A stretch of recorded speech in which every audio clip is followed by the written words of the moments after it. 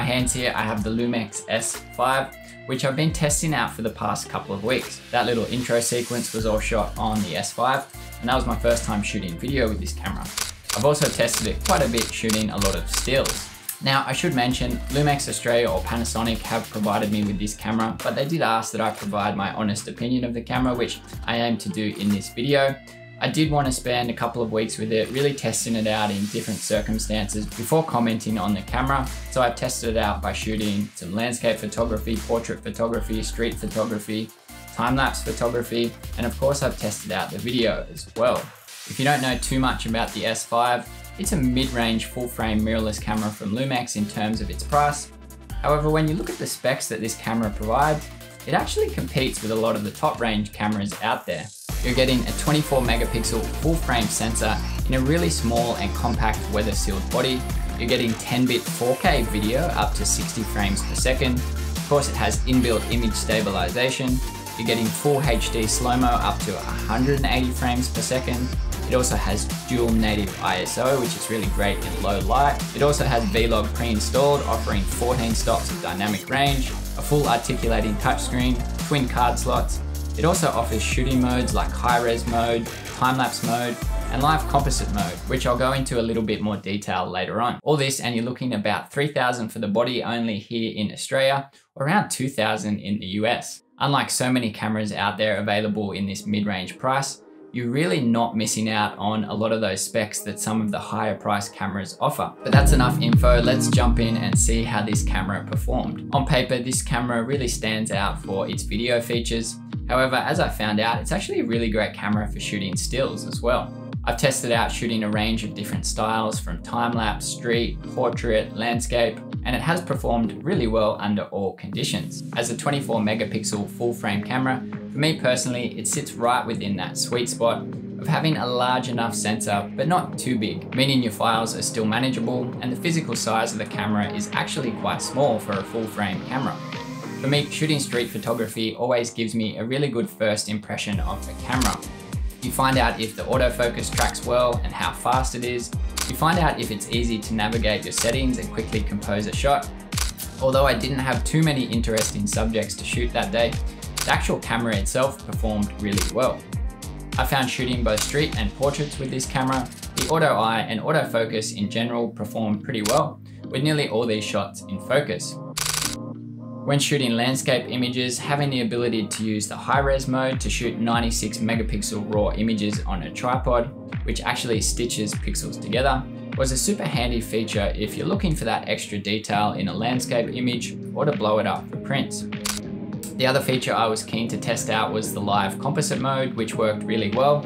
This feature allows you to select your frame. The camera will then automatically only add areas of additional light to that original image, making it perfect for things like light trails or star trails. You can leave this running as long as you like and you will get the preview on the screen. This is another feature I can see myself using a lot of, and I'm not sure why it's not included in all mirrorless cameras. The last thing that's really important for me is a camera's ability to shoot time lapses. A lot of cameras don't have great options or setting when it comes to time lapse. You have to take an additional intervalometer along with you, which isn't ideal. The great thing about the Lumix S5, it has plenty of options and the time-lapse settings are very easy to navigate. Thank you to Panasonic who have given you full options on whether you wish to process the time-lapse yourself by using the raw images or quickly generate the clip in camera. You can easily do both I actually find it quite frustrating in some cameras that don't give you the option to do both and sometimes you have to select one or the other, you can't do both at the same time.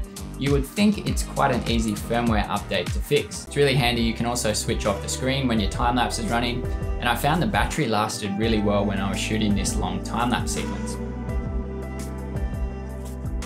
So overall, I was really impressed with this camera in terms of its stills performance, which you actually don't hear a lot about when it comes to this camera. So moving on to the video performance. I guess there is a reason this camera gets a lot more talk around video. For its price, you are getting really great video, and there's no doubt the quality of this 10-bit 4K vlog footage is right up there. It grades really nicely and the dynamic range is actually really impressive. Here I've simply applied some of the Lumix LUTs which you can download and with minimal changes the log footage that comes standard with this camera looks really nice. For slow motion, you've also got up to 180 frames per second in full HD, and even this upscaled to 4K in post has turned out pretty well. I should mention that although you're getting 24 to 30 frames per second full frame uncropped, the 50 to 60 frames per second does actually have a crop on this camera. For me personally, previously having a camera that had a crop on all 4K footage, the most frustrating part of that was not being able to vlog properly. Having a crop at 24, 25 and 30 frames per second was the most frustrating part on the Lumix S5 that's not an issue. You can shoot 24 to 30 uncropped. I did do a bit of a test vlogging with this camera, so let's have a quick look at that footage. So just doing a little bit of a vlog test with the S5. I've got the 20 to 60 millimeter kit lens on, which is a really nice focal length to vlog at. I've also got the Rode Video Micro on there, which is a really lightweight mic as well. So this setup is super light, super compact, and it means it's really easy to vlog with. It's really nice. I'm just holding on to the camera body doing this, so it's probably not the most stable, but we'll also give that inbuilt image stabilization a nice test as well. Obviously the other thing that makes this a good vlogging camera, you've actually got the reversible screen. So I probably wouldn't buy it just for vlogging because it is a really good camera if you only plan to vlog. But if you're planning to do a little bit of vlogging and you want really high quality video specs, potentially a really great option. Shooting handheld, the IBIS performed really well, which is a really handy feature to have for both photo and video. The fact that you're getting 10-bit 4K footage up to 60 frames per second, you're getting the inbuilt image stabilization, you're getting dual card slots, you're getting really dynamic log footage straight out of camera, makes this camera really great value for money. Whether you shoot photo or video, or ideally if you dabble a little bit in both, this is a really great camera to consider. Thinking back, if I had something like this when I started doing more video, it really does open up possibilities. And for anyone looking to get a little bit more serious with photography or videography, this is definitely a camera to consider. For now, I'm TK North. Thanks so much for watching. I hope to see you here very soon. Bye for now.